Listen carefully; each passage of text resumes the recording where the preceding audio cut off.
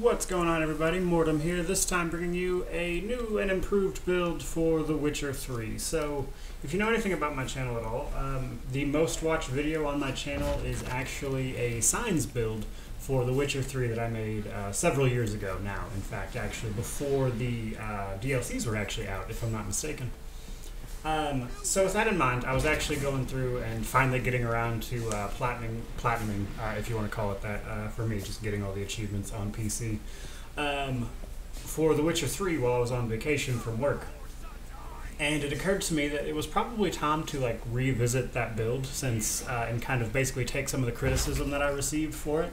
Uh, since you know I was actually still kind of new to the whole YouTube thing in general at that time, and kind of update it uh, and go through all of that stuff with you. So, uh, basically, the idea of this, and again, drawing on some of the criticism that that sign build received, was to effectively use signs, potions, and fast attacks. So, jumping just straight into it, uh, what we need from the general skills is Griffin School techniques because this being a signs build, we are actually going to use um, the Griffin School gear. Uh, it's medium gear, so it has a pretty good uh, defense rating um, and armor and all that. But most importantly, it's going to give us a lot of sign intensity, uh, which is great for later on, which I'll show you guys uh, specifically why sign intensity is probably the most important stat we have. Um, but we don't want to go overkill stacking it either because we are going to be using some attack power stuff. So uh, pick up Griffin School Techniques, uh, again, because we will be using the Griffin School armor. And then second from general, we want to pick up Rage Management. This lets us use our adrenaline points to cast signs, which is just very helpful in general. Uh, one of, like, honestly, this is probably the most useful of all the general abilities. Um, from there, we actually, if you're leveling up, uh, kind of keep that in mind, uh, the first thing we want to pick up is muscle memory, which is going to give us basically just extra fast attack damage. Um, then we want to focus on getting precise blows. Undying is incredibly useful, uh, especially on Death March. And then crippling strikes. Those are the most important, but because of the way they uh, time, like you know, not exactly time gate, but uh, ability point gate all of these lower tier abilities. Um, you're going to wind up having to pick up things, so I recommend arrow deflection, lightning reflexes, and fleet footed and whirl. Um, there's going to be certain points in time where it's just easier to swap these abilities out to help you do certain things. Um, so, right off the bat, that'll be your first probably 10 levels. You want to put Griffin School techniques up here, Rage Management, Muscle Memory, and then a Greater Red Mutagen in here to get the extra attack power off of your muscle memory from the combat ability. That's where I would start. Uh, and then that brings us over to our second tier of abilities that unlock. Um, you want to put uh, Undying, Crippling Strikes, and then Precise Blows over here. So what all these actually do, uh, Muscle Memory, of course, already mentioned, uh, gives you fast attack damage. Precise Blows will actually uh, increase our crit chance with fast attacks by 10%, plus increasing our critical damage by 75%. Um, Undying literally gives you, uh, you know, once Vitality reaches zero, uh, you will be restored to 100% of your uh, vitality. And you have to have an adrenaline point to use it, but basically it just gives you a second life bar.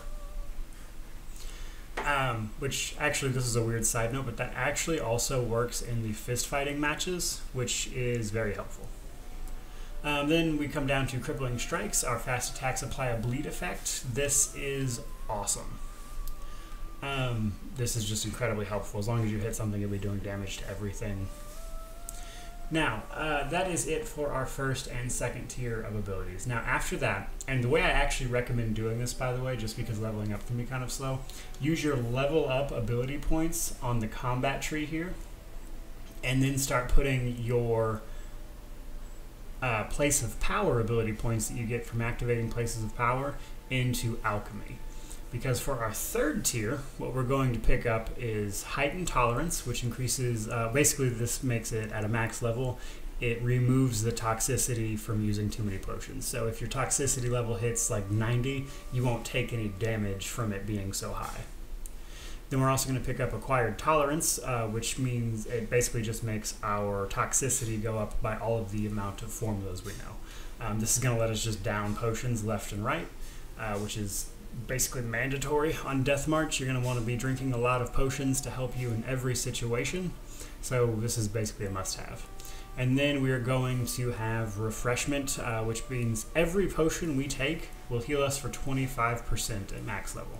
Um, so literally every potion, besides Swallow and White Raffard's, which are actually healing potions, every potion will immediately heal you for 25%. Um, that's what we're going to put in our third box here, and then we are going to pick up a Greater Green Mutagen for uh, extra vitality, just because that's what's in the tree and that's the most useful thing to put there. Um, the actual vitality bonus itself is whatever. Um, but that is it and you will not waste a single point in that tree because all of those things you won't you know you won't have to get down to these lower tiers which require more so you can spend literally these exact amount of points in this tree and that brings us to our last tier which is actually where we start putting in the work on the signs. Now because of the way the leveling works this will actually be a little later um, in the standard game unless you're like doing literally every single thing. You're probably going to be like i think i think the unlock on one of these is like level 26 or something like that. But uh, what we're actually going to pick up here, and you have to be a little careful with this, uh, but start with Melt Armor, because you're going to be using Igni a lot at the beginning of the game. Um, this will reduce things armor by 75%, scaling off your sign intensity, but up to a maximum of 75%. So basically, we'll hit things, we'll melt their armor, and then our fast attack, which is already upgraded to do more damage, will be doing even more damage. So Igni's great. Uh, always use that one.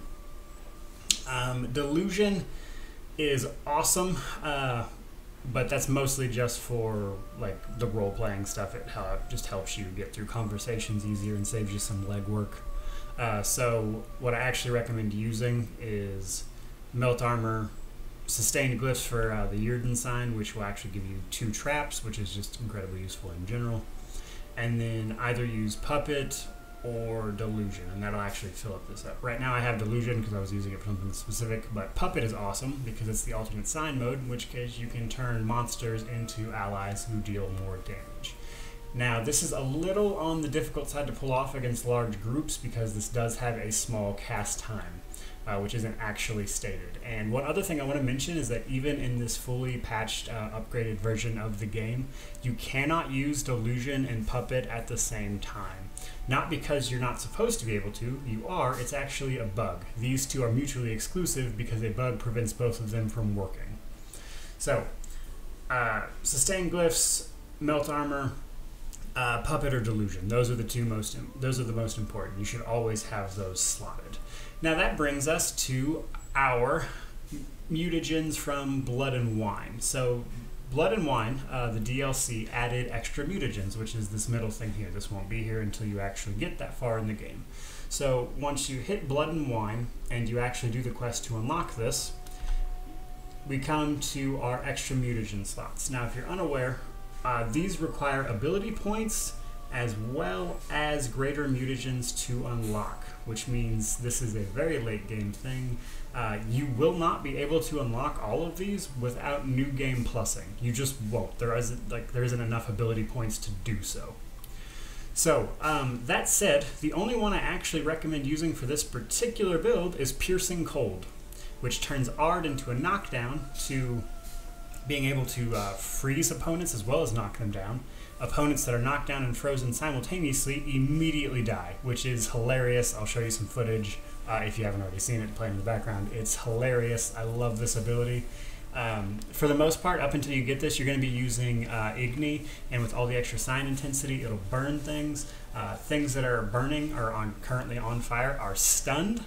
They will not move and attack you as long as you don't hit them. As soon as you hit a burning target, the stun goes away, as is the case with most uh, most status effects. The only exception to that is poisoning. If you poison something, uh, it continues to be poisoned even after you hit it.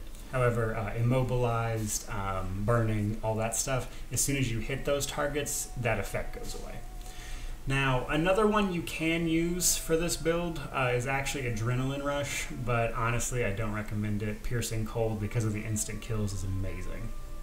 So, fully decked out, you're going to have all Grandmaster Griffin school gear. You're going to have uh, all of those abilities that I mentioned. And as you can see, that puts your sign intensity at 143%, which gives Aard 115% chance to stagger, Igni 100% chance to uh, set things on fire, provided they're, they're you know, pre-resistance. Some things still won't go through because they have resistance to burning. Um, but this gets you where you need to be and does some actual fire damage from the initial hit as well. Uh, will put you at a 33% slowdown.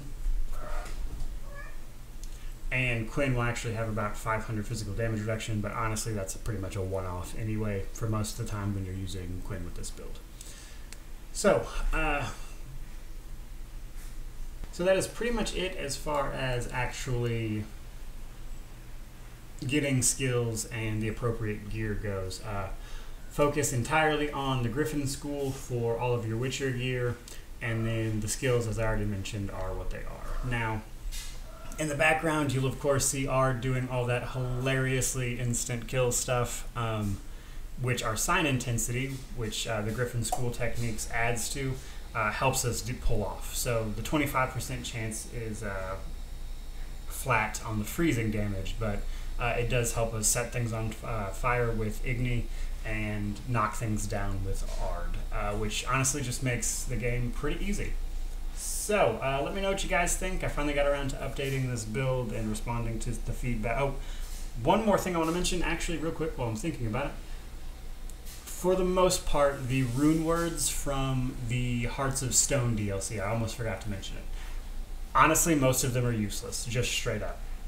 The only one I think is cool is for your main chess piece. It is called Possession. It is level 3.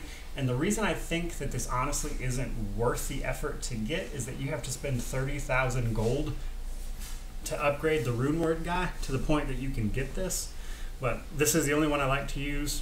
Possession, when an opponent influenced by Axii dies, the effect uh, actually transfers to a nearby target, as well as increases the duration by two seconds for each blow the affected target lands. So, obviously, this pairs incredibly well with Puppet, and is the only one of those rune words I uh, actually recommend getting because of the exorbitant cost of actually getting it.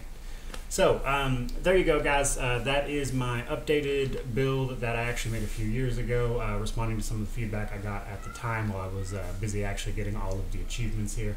Uh, I hope you like it, so uh, if you do, let me know. But either way, hope you have a great day and stick around and subscribe. Thank you.